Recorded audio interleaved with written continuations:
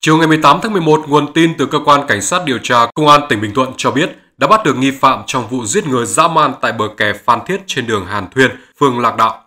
Theo cơ quan cảnh sát điều tra Công an tỉnh Bình Thuận, đối tượng được xác định là Trần Lưu Anh Bạch, sinh năm 1992, trú khu phố 4, phường Đức Thắng, thành phố Phan Thiết. Bước đầu đối tượng đã khai nhận hành vi gây án.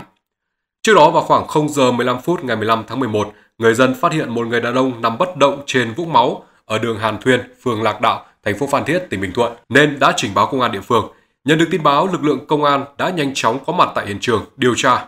Qua khám nghiệm, nạn nhân được xác định là PVS, sinh năm 1976, ngụ ở phường Bình Hưng, thành phố Phan Thiết. Qua công tác khám nghiệm tử thi cho thấy, nạn nhân bị sát hại rất dã man, trên người nạn nhân có hơn 20 vết thương, trong đó có những vết đâm chí mạng. Quá trình điều tra, lực lượng công an gặp nhiều khó khăn như nạn nhân có lối sống khép kín, không sử dụng điện thoại di động, địa điểm xảy ra vụ án không có nhà dân, không có đèn đường, thời gian xảy ra lúc đêm khuya và vắng người đi lại. Trước tính chất phức tạp của vụ việc, sáng ngày 16 tháng 11, Giám đốc Công an tỉnh đã đồng ý xác lập chuyên án do Đại tá Huỳnh Ngọc Liêm, Phó Giám đốc, Thủ trưởng Cơ quan Cảnh sát điều tra Công an tỉnh làm trưởng ban chuyên án. Ngay sau khi xác lập, ban chuyên án đã huy động gần 100 cán bộ chiến sĩ gồm lực lượng Cảnh sát hình sự Công an tỉnh và Cảnh sát hình sự Công an thành phố Phan Thiết tham gia, chia làm 5 tổ. Năm tổ công tác này do các lãnh đạo phòng cảnh sát hình sự và công an thành phố Phan Thiết đảm nhận, chỉ đạo trực tiếp công tác điều tra, truy xét từng dấu vết dù là nhỏ nhất.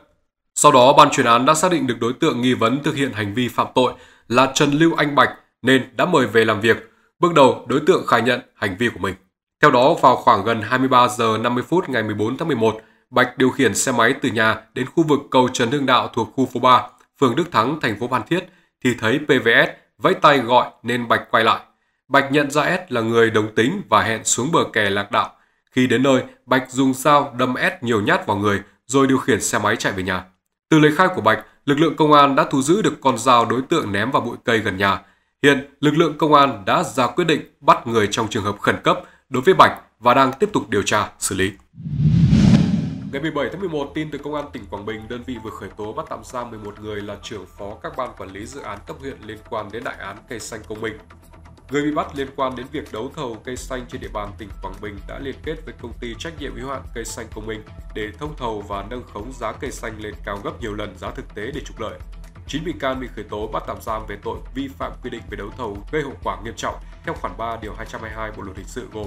Trần Văn Sự, sinh năm 1972, trưởng ban quản lý các công trình công cộng huyện Tuyên Hóa, Nguyễn Hữu Kiền, sinh năm 1971, trưởng ban quản lý các công trình công cộng huyện Bố Trạch, Dương Thanh Hải, sinh năm 1981, trưởng ban quản lý các công trình công cộng huyện Quảng Trạch, Phạm Công Giáp, sinh năm 1971, trưởng ban quản lý các công trình công cộng thị xã Ba Đồn, Trần Văn Tuyến, sinh năm 1964, trưởng ban quản lý các công trình công cộng huyện Quảng Ninh.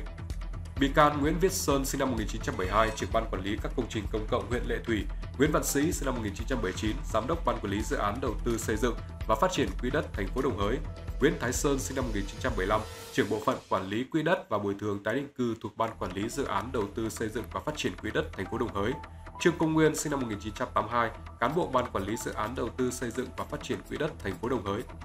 Cơ quan an ninh điều tra công an tỉnh Quảng Bình cũng đã ra quyết định khởi tố bị can, thi hành lệnh cấm đi khỏi nơi cư trú đối với hai bị can gồm Nguyễn Hoài Nam, sinh năm 1976, giám đốc ban quản lý dự án đầu tư xây dựng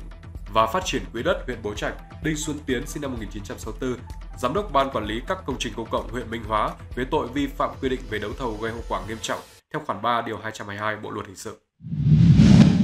Ngày 17 tháng 11, Phòng An ninh mạng và Phòng chống tội phạm công nghệ cao Công an thành phố Đà Nẵng vừa triệt phá đường dây đánh bạc trên không gian mạng có quy mô hơn 2.000 tỷ đồng.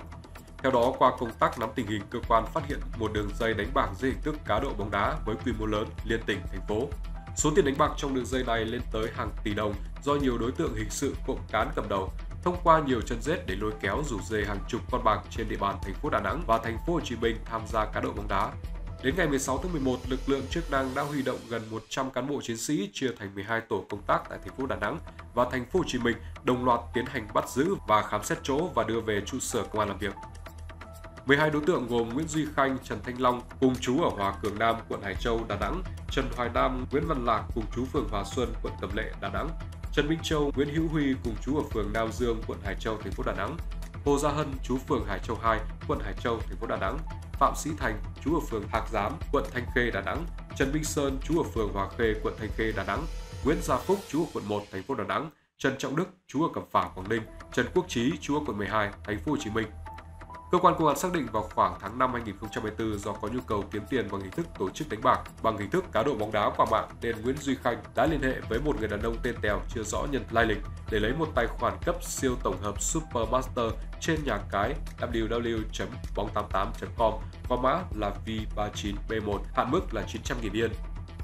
Sau đó Khanh móc nối với nhiều đối tượng khác hình thành một đường dây tổ chức đánh bạc, đánh bạc quy mô lớn trên không gian mạng. Khanh sử dụng tài khoản cấp siêu tổng nêu trên để chia tách thành nhiều trang mạng, tổng đại lý, master, tổng, agent và thành viên, member để giao lại cho các con bạc đầu mối cấp dưới để hoạt động tổ chức đánh bạc dưới hình thức cá cược thể thao. Từ tháng 5 2024 đến khi bị bắt, xác định các đối tượng đã hoạt động tổ chức đánh bạc với số tiền khoảng 2.000 tỷ Việt Nam đồng. Đặc biệt, chỉ riêng trong thời điểm diễn ra giải bóng đá Euro 2024, các đối tượng đã hoạt động tổ chức đánh bạc với số tiền hơn 150 tỷ Việt Nam đồng. Tăng vật tài liệu thu giữ gồm hàng chục thiết bị điện tử các đối tượng sử dụng để đánh bạc và tổ chức đánh bạc, hơn 10.000 trang tài liệu liên quan cùng nhiều tang tài vật khác có liên quan. Cơ quan Cảnh sát điều tra Công an quận Hải Châu đã tiến hành khởi tố vụ án, khởi tố bị can và thi hành bắt tạm giam đối với các đối tượng nêu trên. Hiện vụ việc đang được tiếp tục điều tra, làm rõ. Ngày 17 tháng 11, tại thành phố Hạ Long, Công an tỉnh Quảng Ninh tổ chức diễn tập xử lý tình huống đối tượng sử dụng vũ khí quần dụng, vật liệu nổ thực hiện hành vi cướp tài sản và bắt cóc con tin tại ngân hàng. Để đảm bảo cho cuộc diễn tập, hơn 200 cán bộ chiến sĩ thuộc các lực lượng công an tỉnh Quảng Ninh, công an thành phố Hạ Long, nhân viên ngân hàng cùng nhiều trang thiết bị, phương tiện, công cụ hỗ trợ đặc trùng được huy động để diễn tập tình huống.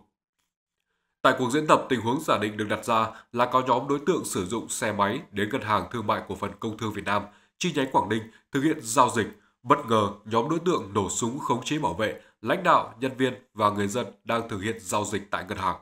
Đồng thời uy hiếp lấy một lượng tiền lớn bỏ vào ba lô với ý định tẩu thoát. Nhận được thông tin, các lực lượng công an đã nhanh chóng triển khai các lực lượng đến hiện trường nơi xảy ra vụ cướp. Sau khoảng một giờ thương thuyết nhưng không có hiệu quả, các lực lượng công an đã tổ chức các mũi đánh bắt, đồng loạt tấn công, khống chế và bắt giữ các đối tượng, giải cứu an toàn các con tin và nhanh chóng triển khai cứu hộ, cứu nạn, tổ chức khám nghiệm hiện trường, thu thập các dấu vết và tiến hành các biện pháp điều tra để xử lý đối tượng theo quy định của pháp luật. Ông Thích Minh Tuệ sẽ dừng việc đi bộ khất thực vì ảnh hưởng đến an toàn giao thông, an toàn xã hội. Bức thư viết tay của ông Thích Minh Tuệ được dư luận chú ý khi chia sẻ rộng rãi vào ngày 18 tháng 11. Ông Minh Tuệ xưng con cho biết bản thân lập nguyện phát tâm học tập theo tu chánh pháp của Đức Phật Thích Ca Mâu Ni, song vì điều kiện xã hội an ninh chính trị phức tạp chưa phù hợp với việc học tập theo hạnh khất thực.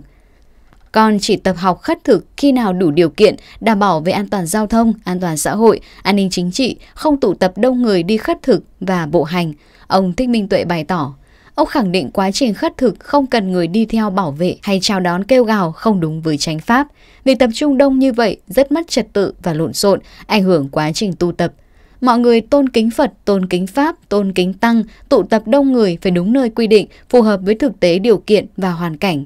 Nếu được như vậy thì rất hạnh phúc và tốt đẹp, mong mọi người giúp đỡ, ông Minh Tuệ viết. Theo ông Lê Anh Tuấn, anh trai ông Lê Anh Tú, người được biết đến là Thích Minh Tuệ cho biết, em trai ông đã viết thông báo tạm ngừng việc đi khất thực và bản thông báo của ông Thích Minh Tuệ chỉ đóng dấu xác nhận của công ty trách nhiệm hữu hạn Phát Tâm Thiên Định Tuệ và bản này không gửi đến chính quyền địa phương hay cơ quan chức năng nào. Trước đó hôm 14 tháng 11, ông Thích Minh Tuệ cũng gửi đơn tới cơ quan chức năng, tổ chức gia đình cá nhân và xã hội về việc không tụ tập đông người và phát tán hình ảnh cá nhân của ông lên mạng xã hội. Trong đơn, ông Minh Tuệ đề nghị không phát tán hình ảnh cá nhân lên mạng xã hội khi chưa được phép của ông nhằm không ảnh hưởng đến quá trình tu tập, học tập theo 13 hạnh đầu đà theo lời Phật dạy cũng như theo quy định của pháp luật. Ông Thích Minh Tuệ sinh năm 1981 tại xã Kỳ Văn, huyện Kỳ Anh, tỉnh Hà Tĩnh, nơi đăng ký hộ khẩu thường trú là thôn 6, xã Iato, huyện Iagrai, tỉnh Gia Lai. Từ 2017 đến 2023, ông tự tu thực hành hạnh khất thực, ba lần đi bộ từ Nam ra Bắc và ngược lại. Năm 2024 là lần thứ tư ông đi bộ từ tỉnh Khánh Hòa theo trục đường chính lên cao bằng Hà Giang và sau đó đi chiều ngược trở lại. Khi đi đến khu vực miền Trung, tỉnh Thừa Thiên Huế, rất đông người dân đi theo ông gây náo loạn.